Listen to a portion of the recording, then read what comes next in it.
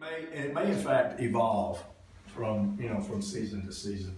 Wardrobes are original to the house, um, I guess custom built in nineteen fifty, and, uh, are the, what I call the original IKEA, you know, the, uh, I mean, they're pretty but swanky we for wanted to, uh, They've we wanted to make sure that we drawers in kept as much of the original house personality as we, you know, as we could. We saw this tile in a renovation in Houston, Texas, and we tracked down the, um, contractor, found out where he got the tile, and we, we just basically copied it, we duplicated it.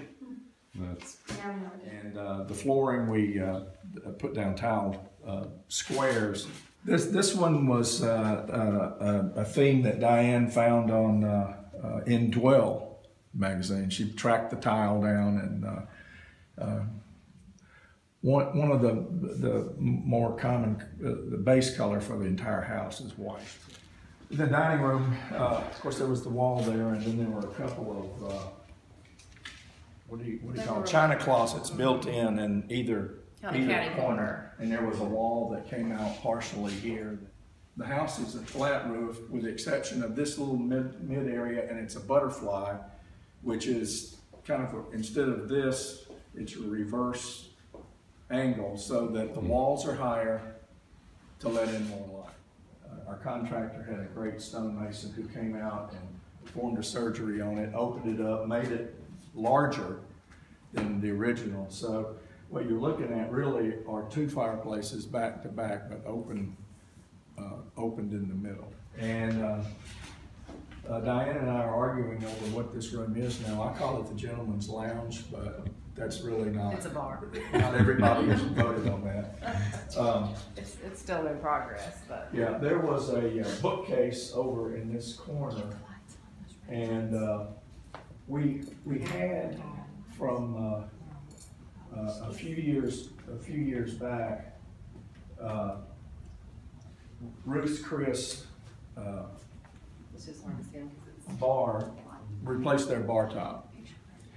And I said, what are you gonna do with that bar top? Because Diane and I had eaten dinner on the, that corner right there for years, several years, in fact.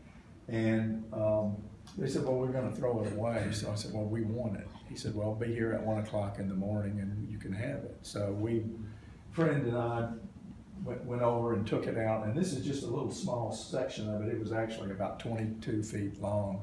We have the other pieces, but we don't have a house big enough for the bar that big. So, um, the, uh, we kept the, uh, the same finish on the bar top where you, you can see the outline where the hot plates, uh, were, uh, had, had burned, burned the finish. So our plan is to, uh, finish that in a marine varnish and then have some friends, waiters and bartenders that we met over the years come over and sign that bar top for us. And so we have a little piece of, uh, our personal history and Memphis history, right? So the unique thing about what you don't see in a lot of sectionals is we made it where it's interactive, where it has open areas too. So if I want to talk to somebody here, um, so it's not, it's purposely not enclosed all the way around.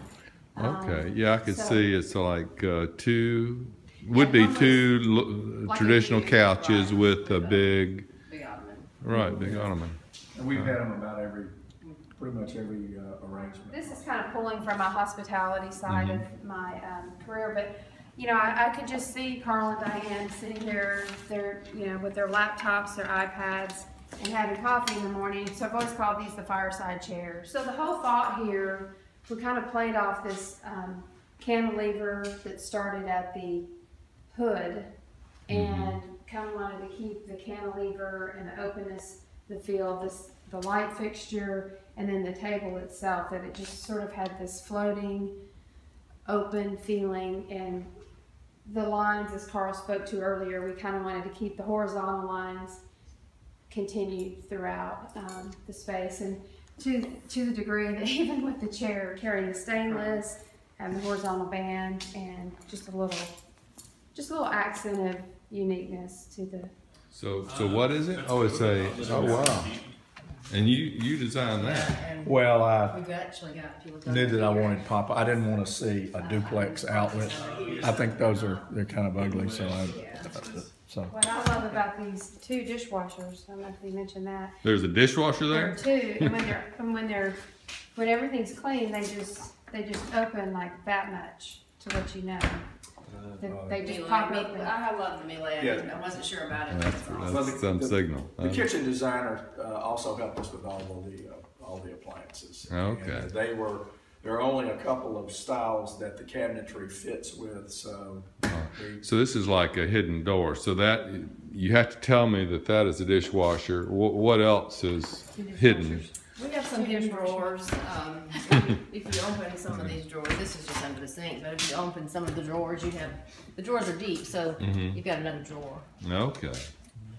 Wow. It's, all- so in other words, you almost have it as if the, the cabinetry i- or the, the unit is floating. Right, Right, and then right. what, um, when this lights up with the sensor, which it may not be plugged in now, this puts a nice glow and it gives You you, can see where lights you're your way to, Oh, wow. to the restroom if you should go in the middle of the night. Who does that? So- So you got in one enclosure, you got two showers, a bath, and what else? Got a rain shower in the middle Steam unit. and two, two steam units. The room was so big, we had to put two in. And, uh, I can probably turn that on. It'll take a couple of, couple of three minutes to do. And, uh, we do have shades, but normally when, uh, when you turn on the hot water and the steam, everything fogs up, so you're pretty much What has it been like living here? Diane says it's like being on vacation to her.